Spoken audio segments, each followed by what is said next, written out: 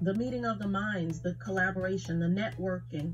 I see so many ways that we all can support one another and, and build up one another's businesses as we continue to build up ours. And um, I appreciate the feedback. First of all, and it's so important to me that it was a retreat, it was time out, it was very relaxing, and it was wonderful to speak to others who are going through the same sort of things, entrepreneurial uh, struggles and ups and downs as you are, and just to spend some time. So she did it really, really nice, covering everything that you need to make an event engaging and really keeping people's attention throughout.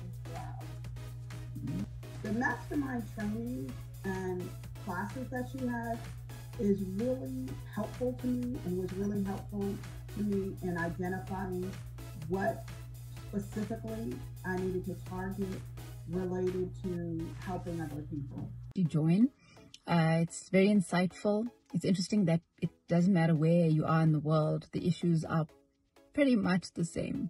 So it's nice to get varied opinions and insights. And mm, I just want to say thank you, Emily. I'm so thankful to that I was a part of that um, retreat.